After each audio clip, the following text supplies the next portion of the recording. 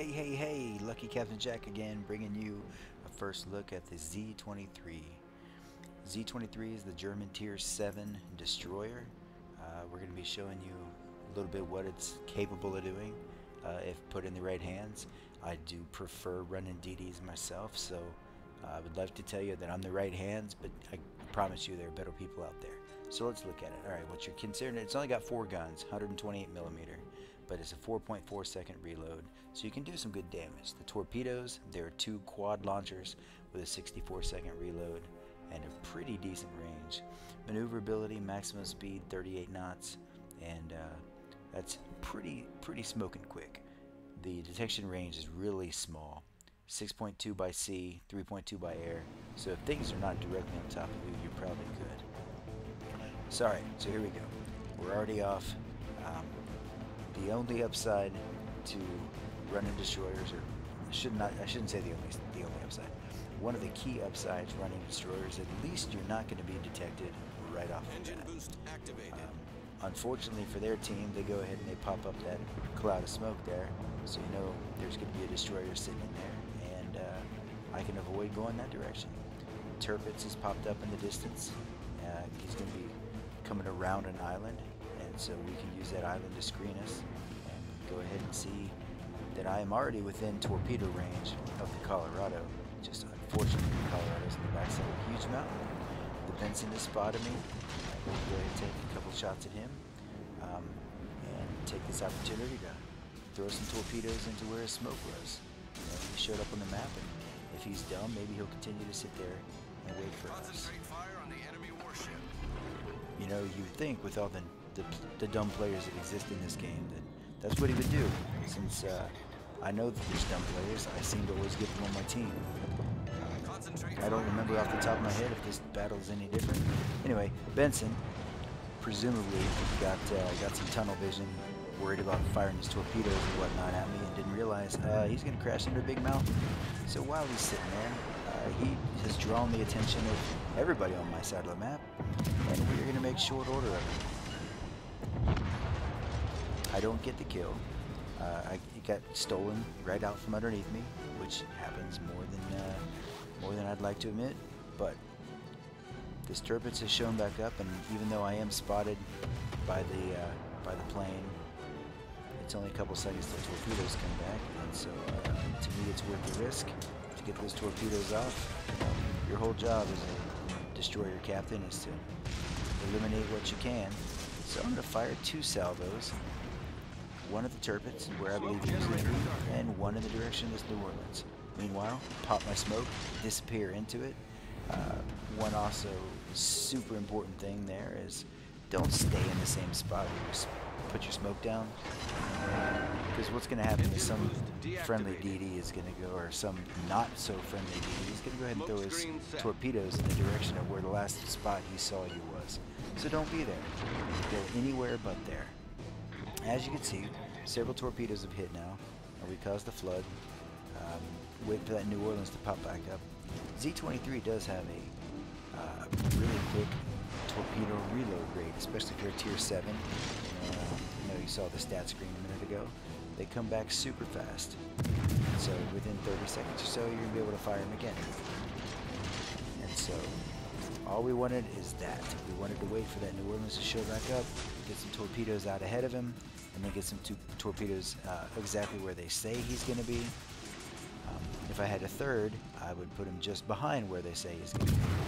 Because uh, you got to anticipate what that commander's going to do. Whether it's staying straight on course, following the track where they say they're going to be, or slowing down as you see him do here. Now again, third salvo to the right of the salvo that's going to kill him. Would have been perfect if he had slowed down faster than he did. So it's nice when you run things like the Fubuki or the uh, I don't think the Akatsuki. I think it's got two batches of torpedoes. But any, any of those Japanese destroyers with with three salvos, that shit is amazing because you can just put them down and get a, a full spread. Put your first batch exactly where it says it's going to go. Put your second second batch down just ahead of them. Third batch down behind them, and uh, and just laugh hysterically they run into as many of your torpedoes as they can handle before flooding or dying. So it's a good time. Um, anyway, moving right along. Uh, we've been detected for a while, and there's no harm. There's no point in sitting around and waiting to see if uh, if somebody's gonna start shooting at me. I'm already detected. Can't get out from underneath this plane, so use that to your advantage. You saw the Colorado wasn't looking my direction, so there's a pretty good bet that he's not looking in my direction now. We sit there and shoot down the plane, so that helps, and we disappear from sight just in time to use the torpedoes that have re-emerged and try to go after this Colorado. Still a bit far out, so we figure out give him the guns. And he's burning, so burning is always nice, and we like to continue burning people when they're, you know, when it rains it pours, well, when it burns it burns. So that's always a good time.